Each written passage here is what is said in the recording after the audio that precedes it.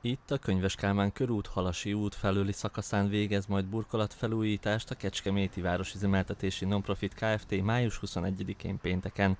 A munkálatok reggel 6-tól 18 óráig tartanak majd, a felújítás alatt teljes lezárásra kell készülniük az autósoknak az adott kereszteződésnél, tehát a Halasi útról, a Halasi úti Hobbik, vagyis a Kiskertváros felől és a Szent László körútról sem hajthatnak a Könyves Kálmán körútra. Az út Kiskörösi úti kereszteződéstől a Halasi úti kereszteződésig terjedő szakasza csak Zsák utcaként használható ebben az időszakban. Kerülni a Könyves Kálmán körút, Kiskörösi út, Küküllő utca, Árpád körút, Halasi út vonalon lehet majd.